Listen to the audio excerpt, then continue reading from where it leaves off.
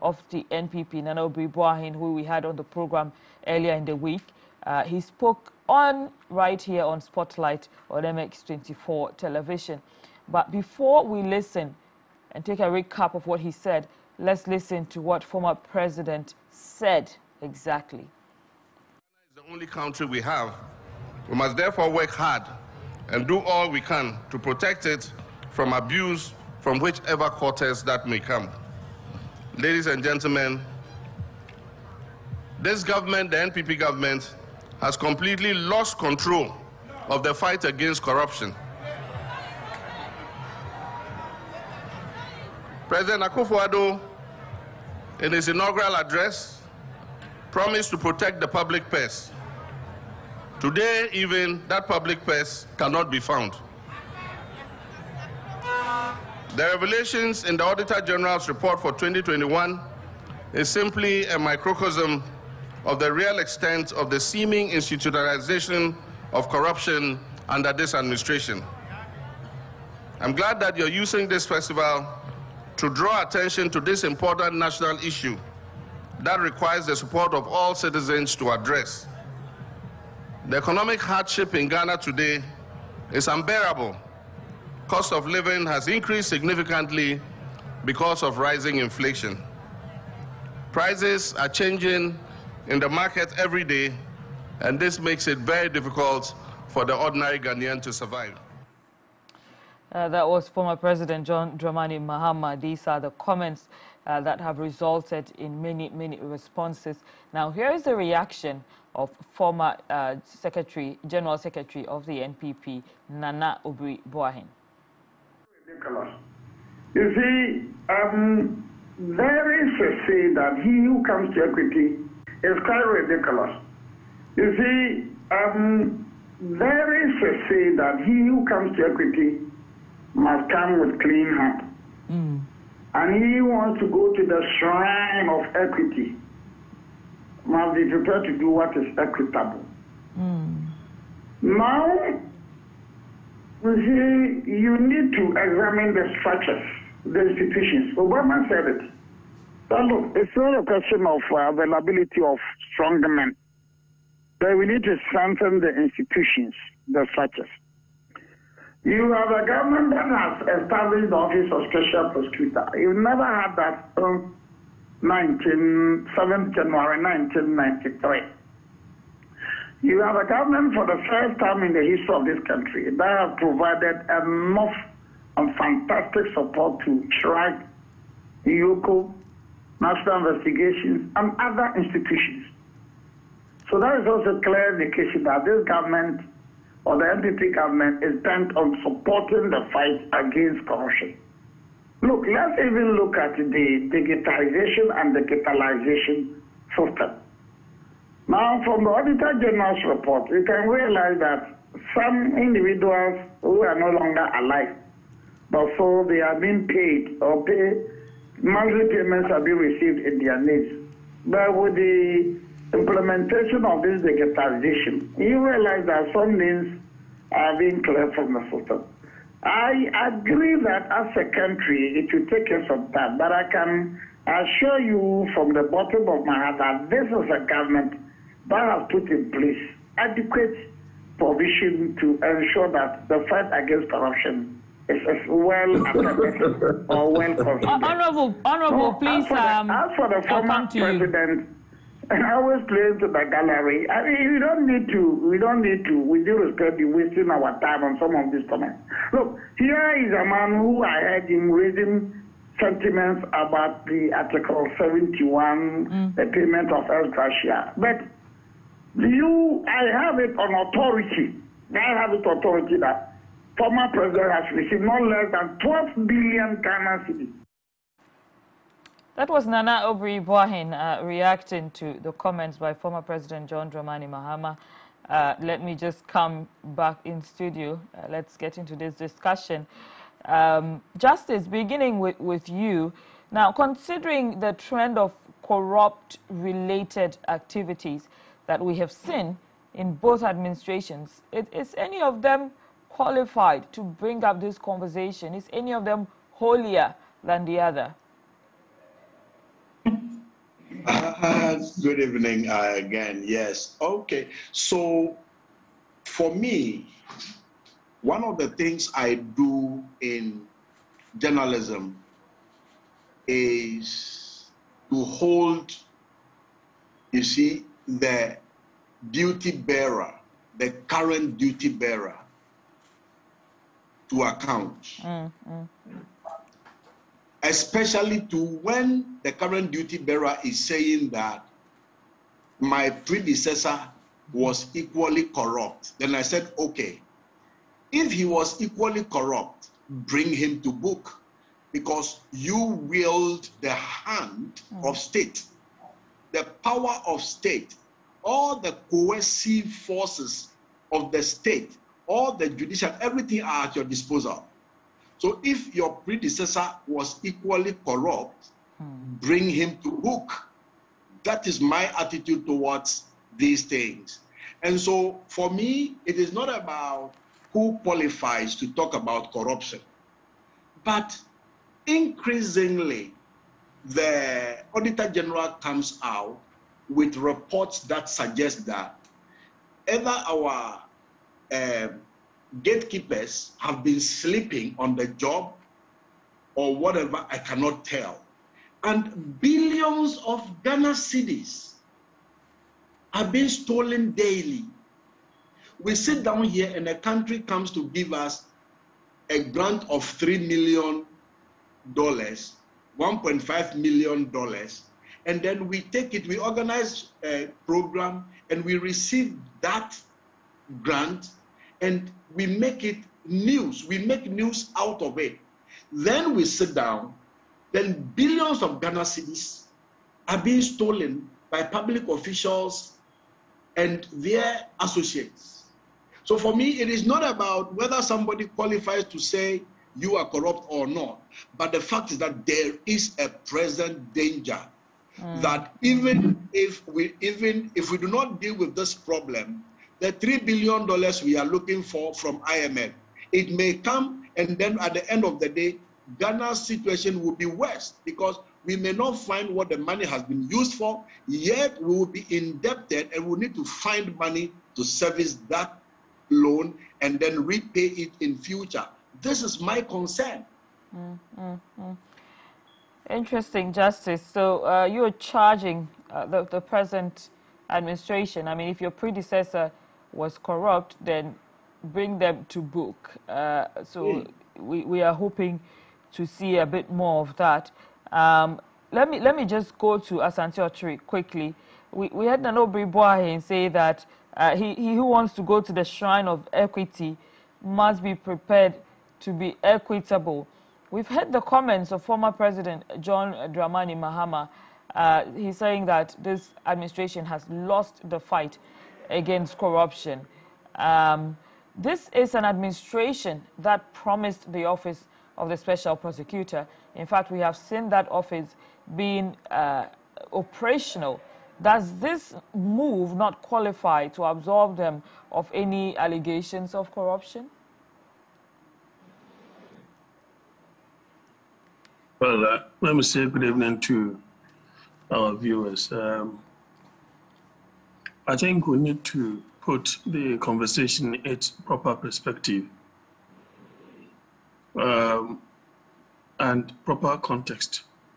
I think where the ex-president is coming from, or former president is coming from, is uh, after the Auditor General's report for 2021 that came out, and uh, apparently we are moving from bad to worse.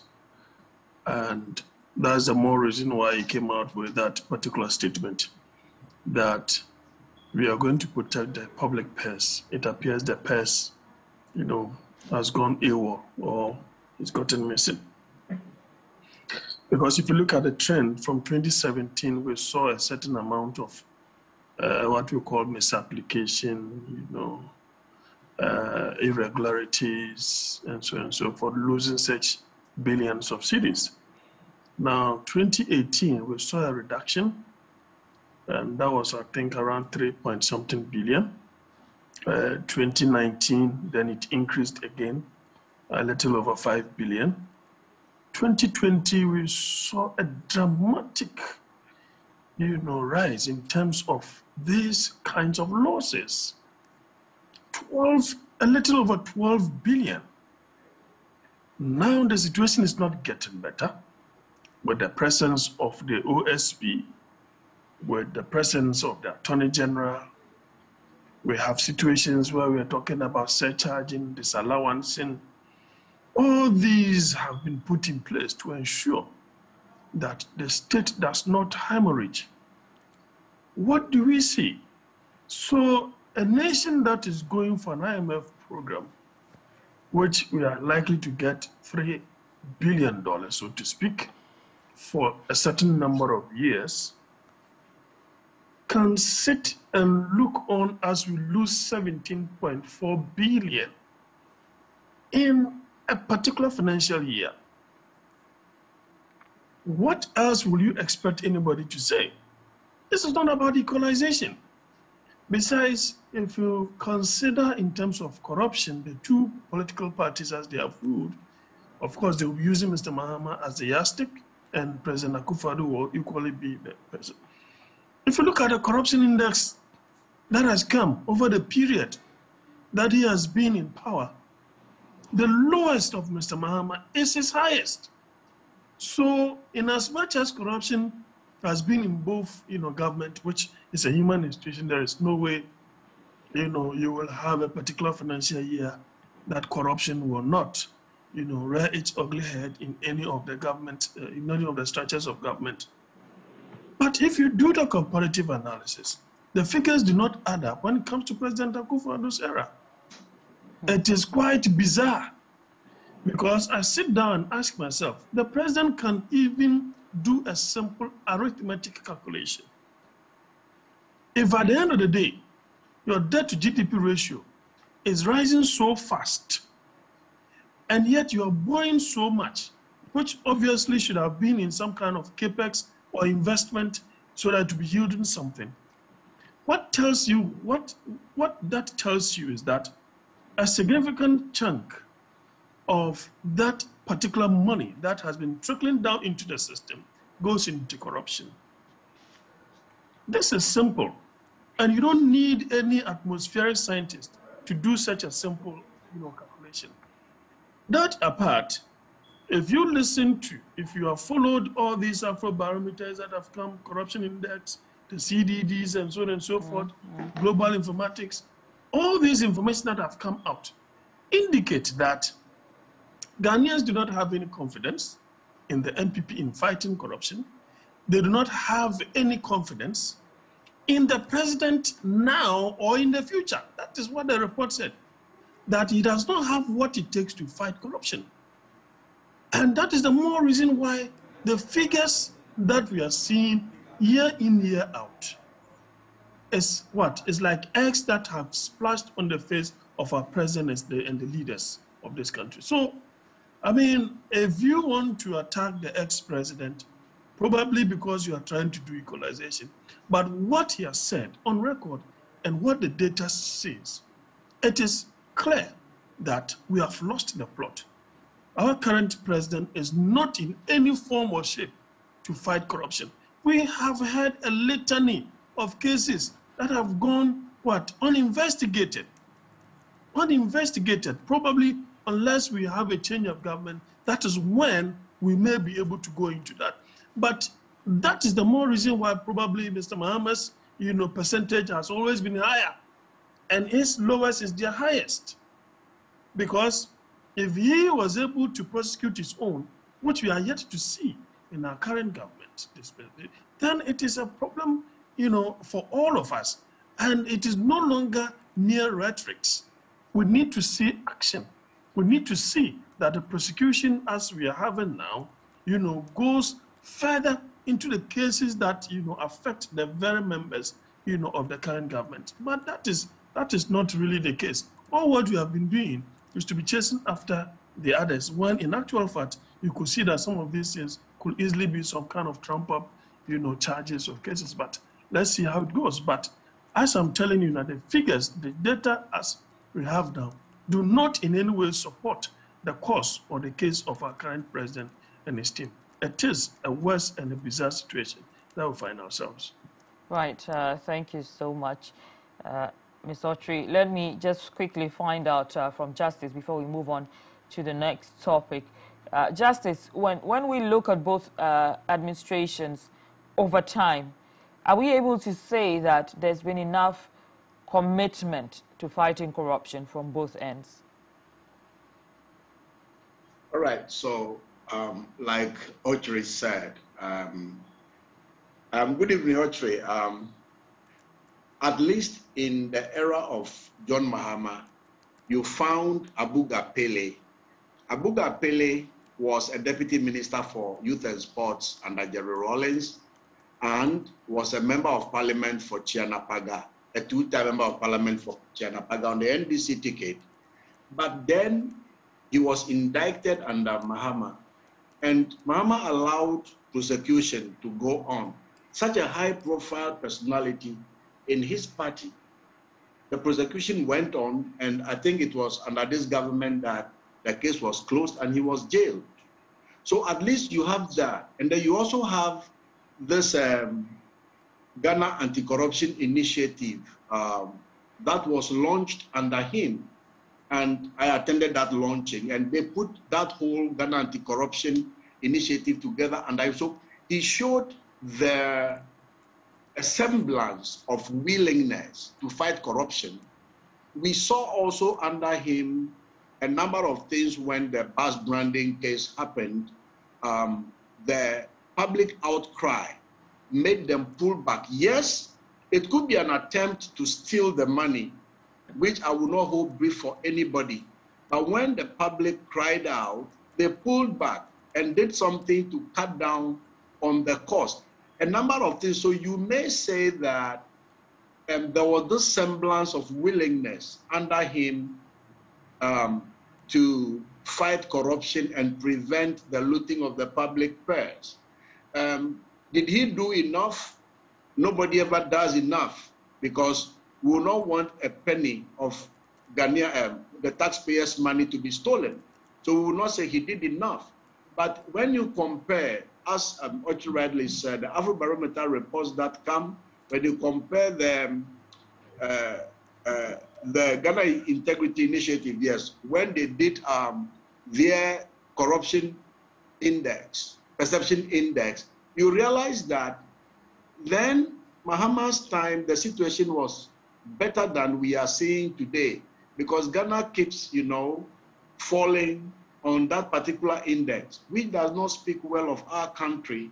It does not actually paint a good picture of us to the, you know, the international community, the global community, the people we go to to look for grants, um, the international capital market where we go to look for, you know, capital for our projects. But they realize that uh, when the money comes, what do we use it for? We allow it to be stolen. So it doesn't speak well of us. So yes, you would like to do a comparison. But for me, as I keep saying, politicians, you know, have as we see in Ghana, they all have a similar interest. They first of all want to feed first before they give the public their fingers to lick. And so I would not like to be doing the comparisons, mm. though current situations compel you to do a comparison between the two. Right. Uh, th thank you, Justice. I, uh, if you could just readjust your, your, your video we have so much headroom uh, up there, and I think you're way at the bottom of the screen. If you could just adjust that uh, briefly. Let me go to Laudia. I hope you can hear me, Laudia. I hope that you are uh, on the line. Uh, the, the last question on this particular issue, I mean, I don't know which side of the fence you're sitting on, but there's also been the argument that it's the kind of politics we practice in this country that contributes to so much uh, corruption. How can we mitigate this?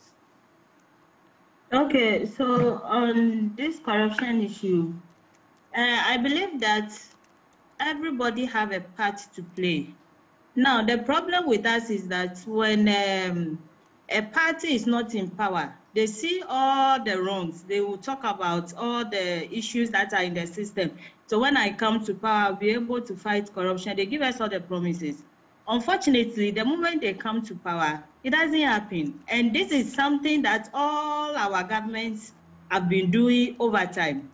I think it is important that the things we see when we are not in power, when we come to power, we should be able to fight it. Now, uh, I believe uh, the former government did what they could do, or they tried doing what they think they can do. The present government is also claiming that they are also doing their best. So the question is, where is the problem coming from? Mm. And two, is it enough that when you are in power, you keep blaming or comparing yourself to your predecessor?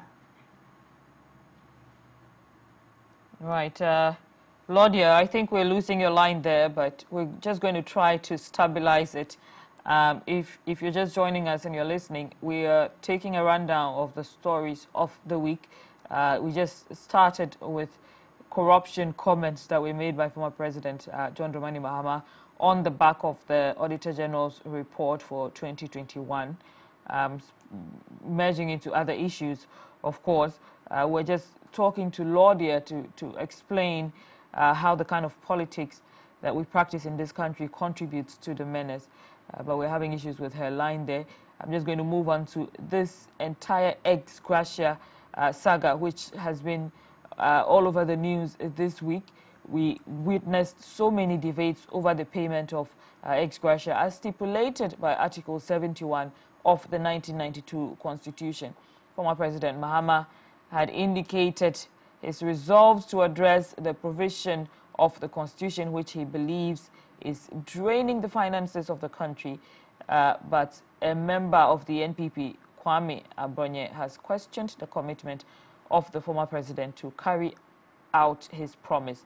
Now, we also know the Bono East chairman of the NPP claims Mr. Mahama has already bagged 14 million Ghana cedis in ex gratia. This is a claim that has generated heated debate after uh, the former president denied it um, in an interview. Let's watch what the former president said. When a traditional ruler and a former member of the Council of State returns a gratuity that was paid to him because he thinks it was not necessary and he didn't deserve to have that money paid to him, he should receive acknowledgments and gratitude and not insults. Togbe, you're a man of principle, you're a man of conviction. And we all admire you for that. And so don't change, just continue being yourself. As I said recently, I want to assure all Ghanaians that the next NDC administration, as I've re recently said, will revisit the, uh, the matter of Article 71 emoluments, especially the issue of ex gratia payments and the size of government, to cut down on expenditure as a way of protecting our scarce resources. Let me just start with Laudia. That's if she's back on the line. Laudia, do we have you back? Okay, uh, let me go to Justice there while, while we try to catch uh, Laudia. Justice, what do you make of this back and forth uh, argument? It appears we can't seem to tell uh, who, who's being truthful, who's not being truthful. Or are we just playing the usual political games that we play in this country? Hmm. Right, okay. Thank you very much again. Um, you see, the issue of ex gratia, when you look at it, the quantum of money that is given to people who have come to serve the country. They claim they have come to serve the country for four years, for eight years, and the quantum of money given to them as ex gratia. And then you want to compare that with a teacher, a nurse, a civil servant who served this country for 25 years, and for a particular reason, the fellow needed to retire five years before time. And then he, his or her take home pay is just about 3,000, 5,000 cedis. the maximum is 14,000 cedis. But somebody comes to parliament, somebody comes to serve in the office of the president, and a huge chunk of money is, you know, doled out to them as ex gratia now. So you realize that the political class, the ruling class, are creating, you know, a system, a, a class system where the ruling class eat the juicy portion of whatever the national cake is, and then the rest of us can go to hell for all they care. Because, for instance, somebody who comes to parliament and is not leaving tomorrow, only one term of parliament has ended, and the fellow is going to seek re-election. Why do you pay ex gratia to such a person? Or when a president does only one term and has won to go into the next term, or maybe didn't win but wants to come back, why do you pay ex gratia to such a fellow? They have indicated that they haven't ended their political career, their service to the nation. I thought that the ex gratia will be given to them when they are going home finally and they, they, they, are no more coming to serve in the public office. And then the quantum of money is immoral. It's too much because you see, when you consider the kind of the, the, the kind of money doled out to them, and then you consider our economic circumstances, we go out there cap in hand, begging for, you know, uh, how do you call it?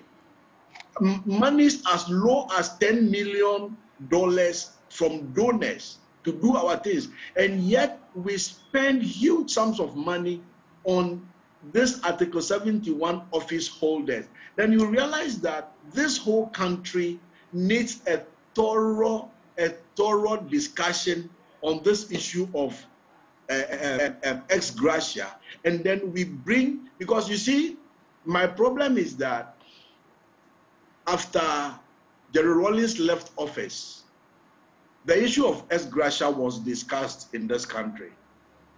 And then it was made to be to look as if it was the Jerry Rawlings and his people who were so greedy. Then President Kufuor also leaves office. Then this whole discussion came back. Mahama leaves office, the discussion comes back. And President Kufuor may be leaving office, and then this whole issue will come back. And so every time we discuss it, we do not find a concrete solution to it. We do not make any emphatic decisions about it. And so then the politicians begin to go away and then they are taking. So I think that it is also one of the things that create the corruption in the public service. Because the public servants are saying that, hey, we are here every day doing the work, but the politicians come for four years, eight years, and they are given this huge sums of money which we do not get even when we go on retirement. So that kind of thing becomes an incentive for the public servants to also loot the state coffers through dubious deals that they do that that um, Auditor General comes out with. And so even for us to deal with this issue of corruption in the public sector, one of the incentives that is causing it in recent times is the, the, the, the uh, uh, uh, ex gratia thing that public servants see, you know, politicians taking home. And so to deal with that issue of corruption, then we also need to find a lasting solution, an emphatic solution to this as Article 71 of his holders ex gratia issue. Right. Uh, thank you so much. Justice.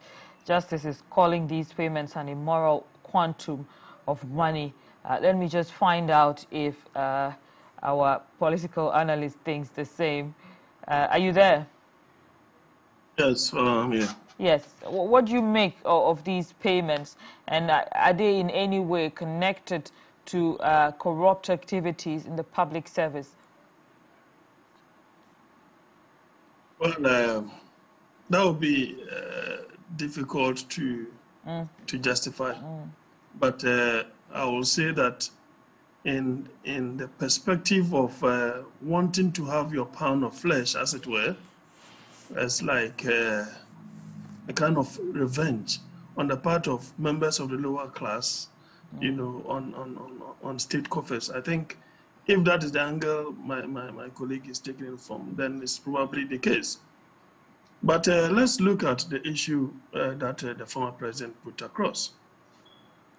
I think what uh, he has been in that office before, and if you look at the situation that we find ourselves, our financial situation, we are in a dire strait, no two ways about that. So we will need that kind of leadership, as it were, that will cut down on expenditure, senseless expenditure, if I may use that expression. Mm. And if you have that, I think I will, I will, I will rather, you know, side with the ex-president on that particular call. Not because I do not enjoy Article 71. But let's look at the issues. Um, why should a Supreme Court judge, for example, who retires on his salary, be given ex gratia? Hmm. He has been in office permanently till he retired. Why should he have ex gratia? Now, the mind, the, the idea that came to mind was that probably because we have three main arms of government, so to speak, you have the legislature, the executive, and the judiciary. So if these three, if these two categories, the executive and legislature, are taking this kind of money, then obviously they being the third arm of government, then they will also have to qualify for that.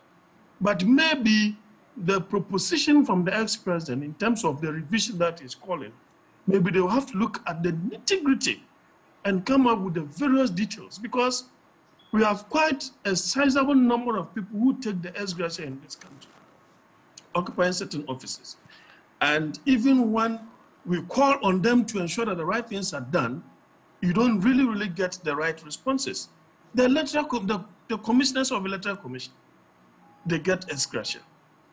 Do you even know that there are presidential staffers, presidential staffers that are on ex gratia? For example, I've mentioned the, the, the judiciary, mm. you know, and so on and so forth. Now, if you're looking at the review, you see, the position of a parliamentarian it's not cast in stone. The parliamentarian can lose the seat the very first term that he goes to parliament. Mm, mm. And, and you could see that the way and manner such a person came to parliament, the money that they might have expended along the line, and then a continual expenditure within the four years on his constituents and the constituency as a whole, you will see that I think theirs is more justified. But if it is a matter of revision, a, uh, a revision that should be done downwards, well, I think that is all fair. But I've also listened to parliamentarians on this particular question. And they say that, for example, members of the eighth parliament, their, their condition of service has not been determined yet. So now, as we speak, they are taking the salary of the seventh parliament. And so in their case, their argument is that it is when they are exited, probably that is when their new condition of service would have come. And that is why they will have to collect that money from the time that they entered parliament. And it is called ex gratia. And for them, that is a nomenclature that is gone wrong. Hmm. But you see that, all in all, I think we will need the Auditor General to, as a matter of agency, let us know how much the state pays or expends when it comes to ex gratia. It should be isolated in the audit report so that then becomes something that we can all grapple with. And then we need to know the full list, the full list of those who qualify and those probably who are giving it up, who are giving uh, like a dole kind of money, you know, by the executive and so on and so forth so that we can look at the constitutional provision and ensure that the country does not continuously hemorrhage. Right, thank you, uh, Mr. Asante I'm just going to uh, quickly move on to the cost of a living uh, crisis. Now, uh, we, we know that uh, Ghanaians have been asked to brace themselves for more hardships because inflation for August has increased again to over 33%. Uh, there's also been an announcement about increase in transport fares. There's been an announcement about increase in water uh, that is sold, sachet water and bottled water. Uh, are we seeing enough effort to mitigate this cost of living crisis and can it even get any worse than it presently is? How, do, how will we survive a worse situation? Let me check on uh, Laudia Nunu uh, if, if she's on the line. Uh, Laudia. Hello, Laudia, are you there?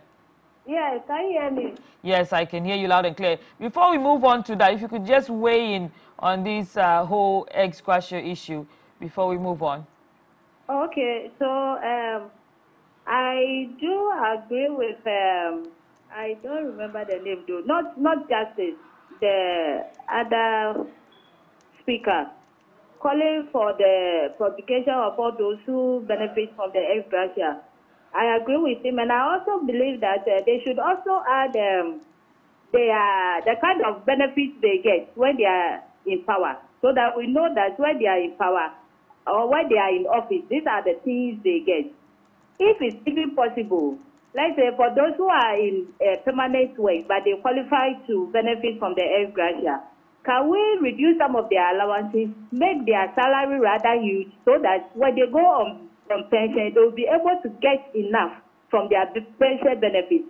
That way, we wouldn't have to be paying them such huge ex gratias. And then I think that can also help us in saving some money for the country. Other than that, they're all workers, all government workers. There are people who work for 40 years, 30 years, and then when they are going home, they receive, I mean, something that you cannot mention. Mm-hmm. Then, other than that, we all deserve some. So maybe the salaries must rather be good so that when we go on pension, our pension will be so good that we do not need extra money to survive the system. Right. So that's my yeah. take on the ex gratia. Right. Let us move on to uh, the cost of living crisis uh, that we're dealing with. Can it get any worse? And if it does, how do we survive? Yeah, um, of course, of course, we have to prepare for it getting worse, especially when we are getting towards Christmas, because uh, mm. we all know that normally during the festivity period, the prices of things increase. And then one thing that I've also noticed is that in Ghana, prices only increase; they never come down. So as the prices are increasing, even if in the uh, on the world market the prices reduce, we know that our own will not reduce. So the only thing we can do as people is that um, let us prepare for the worst. If you prepare for the worst and then it becomes better, you can survive. If you right. prepare for the worst and it still becomes worse, that one too, at least you can survive. But uh, the issue of water, I think that water is a necessity. It's a basic necessity that everybody needs. Mm. So there must be, I don't know whether government can find ways and means of making sure that the prices of water should not overly be that high because it means that the moment it happens like that, we are preventing the poor from getting quality water, which also goes against the SDGs. How mm. can we help so that, I mean, when a school child who is in a public school can easily walk and then buy water to drink, maybe we have to find ways and means to reduce the price because the, buying sachet, one sachet water for 50 pesewas is, is, is too much. Right. It's too much. Right. But, Thank you, uh, Laudia. Mm, all, all in all, we, we are expecting the prices to go higher. And Thank then you. we can also change some of our lifestyle a little so that we will help to save some money. Hey, thank you, Laudia. As for lifestyle, we've been making adjustments for over a year now. I don't know how far. I don't know how far people can go. But let's move on to Aisha Huang. Uh, there's no one more popular than Aisha Huang in Ghana right now. And we know that she is has come to be known as the Chinese Galamsey Queen. She was in court this week, was denied bail um, after pleas by her lawyer, Captain Nkrabeah Effah-Dartey, who's also been granting some interviews. Uh, the lawyer, after those court proceedings, interacted with some journalists. And let's just take a listen to some of the things that he said. I think it was a wrong move, but they took her out of Ghana. Today we are being told in the court that she sneaked out of Ghana, which is false, a blatant untruth, an inaccurate statement, which was made to the court. Very sad, most unfortunate. My worry is that the media has overhyped this small matter of mining without license and uh, doing mineral sales without license. It's a small matter. It happens every day in Ghana. So I don't see why the media should even write an editorial on this matter. And it is that which is creating a problem and giving all manner of uh, all manner of insecurity to the issue. Hey, media, media for your bro, Ghana. But, well, uh, let's move on to the discussion. Uh, if you listen to Aisha lawyer, he says the media has blown a small issue of mining without license out of proportion. I have no idea how uh, a foreign national in Ghana mining without license was arrested, managed to slip uh, away without the repercussions applying to her, finds her way back into the country, continues with the very crime for which she was first arrested. And we say it's a small matter and blame the media for blowing it out of proportion. It seems uh, we have issues with the media when their work does not favor us or works against us. We're the same people who ask the Ghanaian media to be up and doing. Let me come to you uh, first, Justice, um, since this, this concerns the media. Okay, I, think I don't have you on the line uh, right now, so let me just go to Laudia, since she's also a journalist. Laudia, is, yeah. uh, is a journalist the problem over here? How did we get to that point? journalists are, are, are, not the problem. But I mean, journalists are supposed to also speak for the the vulnerable. Right. And in this case, I would say that we are all vulnerable when it comes to Galamsey because of the effects that comes with it. Now, I may not be at the uh, Galamsey area, neither do you. But the issue is we are talking about water. We just spoke about the prices of water. Mm-hmm, mm-hmm. And experts have told us that if we do not fight this issue of galamsey very well, very soon we'll be importing water. Mm. So in in effect, water, which is a basic need, it affects all of us. You understand? Mm-hmm, mm-hmm. So why would I sit down and wait for the thing to destroy before I talk about it? Two, it also affects agriculture. Those of us in Accra, we all take our food from the interland. And if our people there cannot farm because of galamsey, definitely there could be uh, food insecurity. And when there is food shortage, prices will still go up and it will also affect us, whether you are a journalist, you are a politician, you are whatever. So we need to protect some of these things. It also has health implications because of the mercury that they are using. Are we going to sit down and then wait for all these things to happen and the monies that are supposed to be channeled into development would then be channeled into solving some of these issues, like the health implications that those living there will have. I think as journalists, we, we don't only report, but there are issues that we also need to analyze. We need to bring to the fore. Sometimes people do not really understand the in and out of the issues. It takes the journalists to bring them out for the public to really appreciate what is happening. Because somebody will sit somewhere, just like the the lawyer said, as for the lawyer understanding, is defending his client. So he said this small matter. But it is more than a small matter when you do proper analysis of it. So if such a person is telling the public that it's a small matter, can you imagine if there, there are no journalists to actually bring the issues out? We will all say it is a small matter. At the, at the end of the day, before we realize we are facing the effect of this galamsey. So I think it is now. We need to talk about it now and then tackle it right from the root. So for me as a journalist, I don't see that we are doing anything wrong. We need to talk and we will continue talking. Right. Uh, thank you so much, Laudia. Let me just move on Auntie who's still on the line. Uh, Mr. Autry, if you listened to the president in 2018 concerning this particular uh, issue, he, he mentioned that the deportation of Aisha Huang uh, was a mistake. In fact, the last time we tweeted this, I, I, I mentioned that this is a, a, fantastic opportunity for that mistake to be corrected. But uh, the president now in 2022 is saying that he isn't sure Aisha Huang was indeed deported. What is going on here? Are we seeing any, any real effort at correcting uh, what went wrong? Well, uh, let me say that with respect to this Galamsey menace, um, I think Ghana has gone to sleep for quite a long period. Um,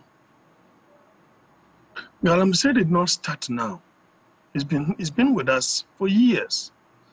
But we never saw the, the water bodies getting destroyed in the way it is getting destroyed today. Sometimes I sit there and I ask myself, ah, if these Chinese had seen this gold thing in this part of the world early enough, even in the colonial period, I wonder if we would not have been located, would not have been asked to move to a different, you know, country, as it were.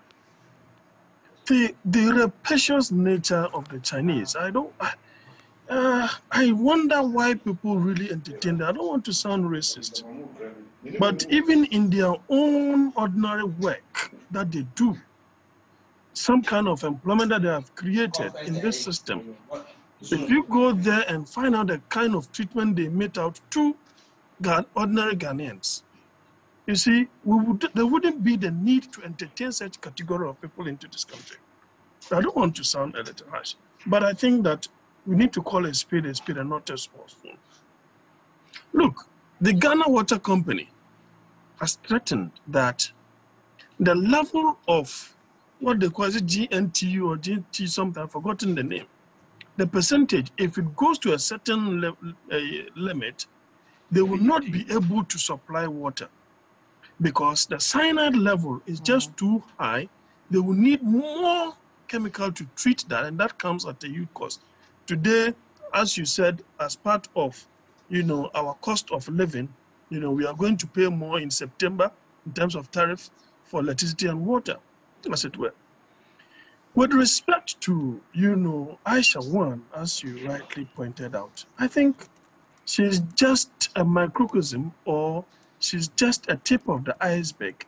We have politicians inside that whole operation, and it is becoming so entrenched that they seem to forget that when the water is destroyed, it will affect not only NPP, not only NDC, it will affect all of us. And water, they say, is life. Let me even chip in something. For example, you see that even the gold companies that we have in this country, uh, the mining companies manned by foreigners, so to speak, there is even one currently at Wasa called is Golden Star or something. Uh, the Mining Act always ensures that we are supposed to have some kind of local content. It appears the new Chinese, there's some new Chinese management have taken over that particular place. and they are taking over all these things against the law. And so as I speak with you, the NIB, National Security, they are about to investigate something of that sort. But that is just by the by. You see, with, with the president, uh, I don't know whether it is old age that is making him forget issues that he himself made pronouncement on and you yourself categorically said that you know it was it was an error on the part of government to have let the woman go because then it means that for you she ought to have been prosecuted what that means is that the woman is no longer in our jurisdiction how then do you in some subsequent years come and tell us that you don't even know whether. So who is not telling the president the right thing? Or as some people are trying to hold brief for the president, he might have misspoken. I think that as a commander-in-chief of, of, of, the Ghana Armed Forces, uh, being at the helm of affairs in terms of national security and so on and so forth, when you speak, it holds a lot of water. Mm. So the security of the nation is in your hands. Mm. We need to ensure that we are in the right hands. Right. As it stands now, I think age is not on the side of the president, right. and we are all suffering for it. Thank you, uh, Mr. Otri. Uh, if you just give me your last remarks in uh, 30 seconds. 30 seconds, Mr. Otri. Is, is of hands. Uh, I expected Dr. Bawumia and co to give us some three, six, six months interim kind of uh, policy that will ensure that we have some kind of bumper harvest in the system. Mm-hmm. I have proposed a few things, but it appears we are not handling that. And all what you do is to give yourself excuses and say the IMF and uh, sorry, you say uh, COVID-19. Now, World Health Organization is saying that we are at the end of COVID-19. I wonder what kind of excuse that we are going to use again. Maybe the death of Queen Elizabeth is the next excuse for our government for us to be spending so much on Thank fuel. You so much. When in actual fact, you can see that our city is that which is not performing because the price keeps coming down. Thank you, Mr. Otri, uh, for that submission. Let me just go to Laudia for her last remarks. Laudia, are you on the line? If you can sum up for me in one minute, please. Hello, Laudia. I'm not getting your line, so unfortunately, I'm going to take your last submission as your last uh, remarks. Justice, if you're on the line, uh, can you just sum up for me in one minute, please? Hello, Justice. Can you unmute? I can't hear you. Right. Sorry. Yes. Right. Thank you very much. Yes. So what I what I can say is that yes, I just saw a World Bank um, story earlier today saying that um, the global economy could be going into recession in 2023. As a country, what plans do we have? What levers do we have, you know, to support our people when the global economy goes into recession? Because people are really suffering. The price hikes, like Laudia said earlier, prices never come down. Ghana pricing system defies, you know, gravity which says everything that goes up must come down. Ghana's prices, when they go up, they stay up there, they keep increasing, no matter what the um, uh, uh, economic factors are. So there should be a particular system in place to support our people. And if I were in Ghana, this is what I would be thinking about today. Thank you. What Yes. Thank you so much. Uh, one minute up. Thank you. We are completely out of time, so thank you. Uh, Justice Lee is a journalist. We also spoke with Laudia Nunu, who's also a journalist. We spoke with Asante Otri, a political analyst. We're hoping that in the next few weeks, whatever uh, the news may be about this recession, we're not so hard hit, but we'll be bringing you updates as we go along. My name is Nuong Faalong, and this is Spotlight on MX24 Television. We are so grateful for your time. Have a great weekend. Good evening.